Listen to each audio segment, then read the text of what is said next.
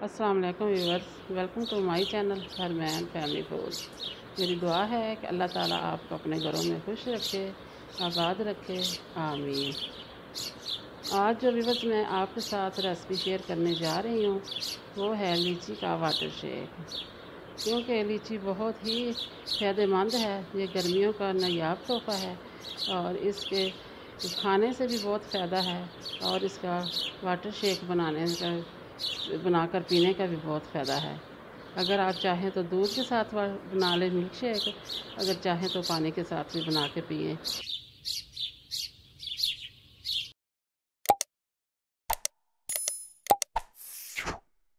बिसमीम चलें आप अपनी रेसिपी की तरफ़ चलते हैं। ये मैंने एक किलो के करीब लीची ली है और एक प्याली चीनी की है और साथ में एक चम्मच नमक का है। माशाल्लाह बहुत ही ज़बरदस्त लीची है। ये बहुत ताज़ी ताज़ी सी थी तो लेके आए हैं हम बाज़ार से। तो माशाल्लाह भी देखिए ये कितनी खूबसूरत है और इस ये भरी है, और माशाल्लाह ये देखें, ये ताज़ी ताज़ी सी बाज़ार से लेके ये जब आती है तो माशाल्लाह बहुत अच्छी लगती है। माशाल्लाह, ये दिखने में कितनी अच्छी लग रही है। और मैं इसका जब जूस बनाऊँगी तो इससे भी ज़्यादा मज़ेदार बनेगा। मैंने एक प्याली चीनी ली है और ये छोटा सा टुकड़ा अदरक का शामिल करूँगी। और एक टेबल स्पून नमक का।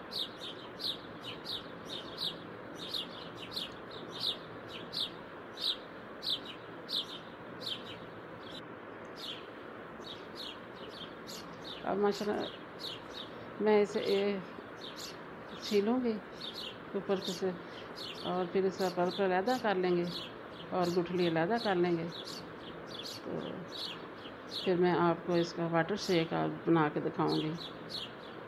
ये एक एक करके इसका मैं सारी लीची को छील कर अलहदा रख लूँगी। जैसे गर्मियों में अल्लाह ताला ने हमें बहुत से फलों से नवाजा है इसका फ़ायदा हमें उठाना चाहिए। ये सारी लीचियाँ मैं ना छील के पहले रखूँगी और बाद में फिर मैं इसकी गुठली निकालूँगी। तो इसके अंदर विटामिन सी भी होता है और जो चेहरे की जुड़ियाँ होती है, वो उसको भी ख़त्म करते हैं। और पेट के लिए तो बहुत अच्छे है और जो जिसके ऊपर अपना मोटापा कम करना चाहे, वो भी लीची ज़्यादा से ज़्यादा खाए। तकरीबन रोज़ाना के पाँच दाने तो ज़रूर खाएँ। ये सीज़न के फल होते हैं बस ये थोड़ी थोड़ी देर ही रहते हैं। तो इसका हमें फ़ायदा भी उठाना चाहिए ये अल्लाह ताला ने हमारे लिए कितनी प्यारी प्यारी नेमतें अदा की हैं। माशा ये जब ताज़ी ताज़ी होती है तो बहुत ही इसका जायका भी बहुत मज़ेदार है तो अंदर से भी रस भरी सी होती है। ये देखें, इसके छिलके माशा बहुत आसानी से उतर रहे हैं। इसी तरह ये मैं, जो रेड भी है और जो सब्ज़ भी है, ये दोनों को मिक्स करके मैं ये इनका शेक बनाऊँगी। तो ये बहुत ही मज़ेदार और खट्टा मीठा सा बनता है।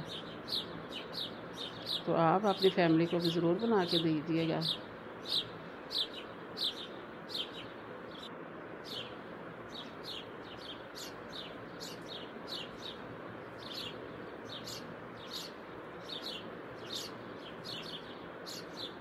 खुद देखो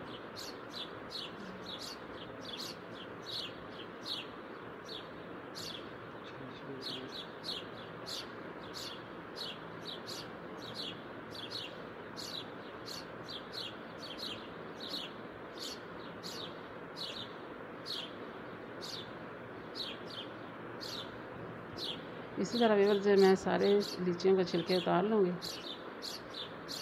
तो फिर आपको मैं ये इनका पल्प अलहदा करके और गुठली अलहदा करके भी दिखाती हूँ।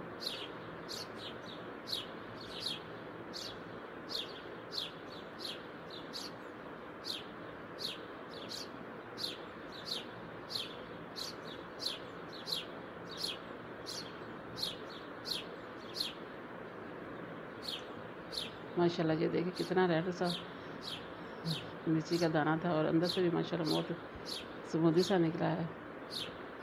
अब कुछ मैं सब्ज़ और और कुछ मैं रेड जो दाने हैं ना, ये सारे शामिल करूँगी। क्योंकि इससे फ्लेवर बहुत अच्छा आता है। और जो ऊपर से फ्लेवर डालते हैं, कोई नींबू भी डाल देते हैं और कोई पुदीने की पत्तियाँ भी डाल लेता है इसमें। लेकिन जो फल का असल जायका होता है ना, अगर हम उसी के साथ बनाएँ तो फिर वो उसका और ही मज़ा आता है, और ही टेस्ट होता है। माशाल्लाह मैंने ये सारी लीचियाँ तकरीबन हाफ़ छील ली अभी, और बाकी के फिर मैं दूसरी दफ़ा छील के अभी उनका बनाऊँगी।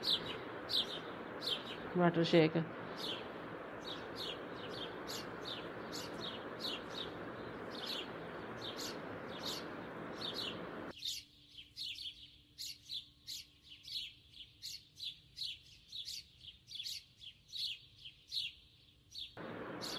अभी बस ये मैं छुरी की मदद से इनको कट लगाऊँगी दोनों साइडों से। तो ये देखिए इस तरह ये कट लगा के और ऊपर से ये गुदा इसका अलहदा हो गया और अंदर से बीज मैंने अलहदा कर दिया है। अब इसी तरह सारी लीचियों को कट लगाते जाएँगे और गुदा अलहदा रखते जाएँगे और गुठली को अलहदा करते जाएँगे।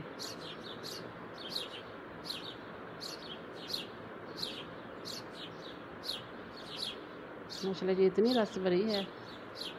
तो बहुत देखो, आसानी से ये निकल रहे हैं, गुट इनकी गुठलियाँ आसानी से निकल रही हैं और जो गुदा है इनका ये लैदा ऐसे चल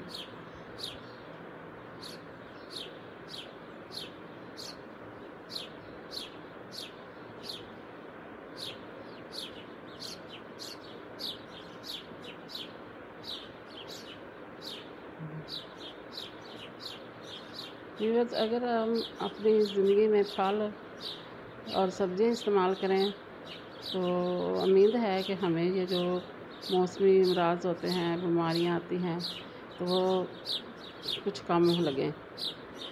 क्योंकि अगर हम इन जूसों से अपने आप का इलाज भी करें तो इन हमें फ़ायदा बहुत होगा।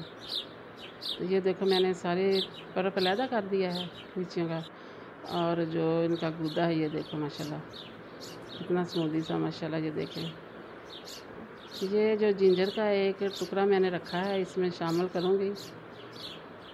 तो इसकी एक तो खुशबू भी बहुत अच्छी आती है। और दूसरा, कुरान पाक में आता है कि जन्नत में जब पानी हमें मिलेगा तो उस पानी से खुशबू जो आएगी, वो अदरक की आएगी। तो इसलिए अदरक के भी फ़ायदे हैं। तो मैंने ये ग्राइंडर में लीचियाँ डाली हैं। अब ये मैं अदरक का टुकड़ा छोटा छोटा पीस काट के ये भी साथ शामिल करूँगी।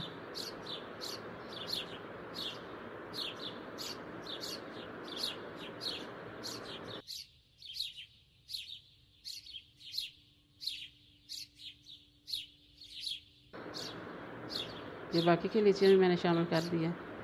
अब मैं तकरीबन चार चम्मच के करीब ये चीनी डालूँगी। आप अपने टेस्ट के मुताबिक डालिएगा। आपको ज़्यादा चीनी अच्छी लगती है तो ज़्यादा डालें, कम लगती है तो कम डाल लें। अब हाफ़ टी स्पून में हाफ़ ये खाने वाला चम्मच है ना, ये मैं नमक का शामिल करूँगी। ये घर वाला नमक है जो हम अपनी हंडिया में इस्तेमाल करते हैं और एक गिलास पानी पहले मैं डालूँगी तो इसको अच्छी तरह ब्रांड करेंगे। इसका फिर अच्छी तरह ब्रांड करना है। ये बिल्कुल मुलायम सा और स्मूदी सा बन गया बन गया माशा ये देखे। ब्रांड हो गया वाटर शेक अब मैं इसमें शामिल, बर्फ़ भी शामिल कर दूँगी। और फिर इसे मैं ब्रांड करके फिर आपको इसकी फैनल लुक दिखाती हूँ।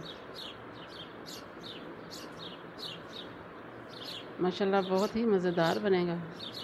इसको जो मैं इसलिए छान रही हूँ कि कोई भी पीस इसके अंदर रह गया है तो वो फिर दोबारा उसको ब्रांड कर लें।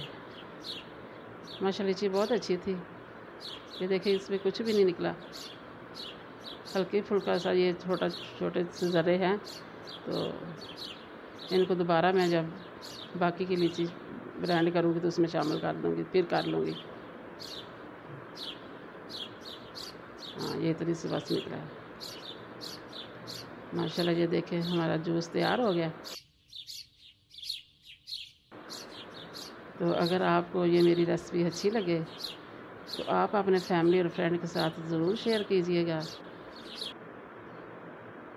और हमारे चैनल को सब्सक्राइब भी कीजिएगा। और मुझे दे इजाज़त अगली वीडियो तक के लिए, और अपना बहुत सारा ख्याल रखिए। अल्लाह हाफिज़।